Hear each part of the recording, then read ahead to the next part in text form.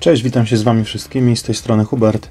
W dzisiejszym materiale postaram się Wam y, pokazać jeden z, ze sposobów na zrobienie własnych oczek 3D do przynęt na podstawie kupnych oczek.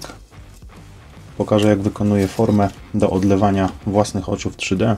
Zapraszam do oglądania.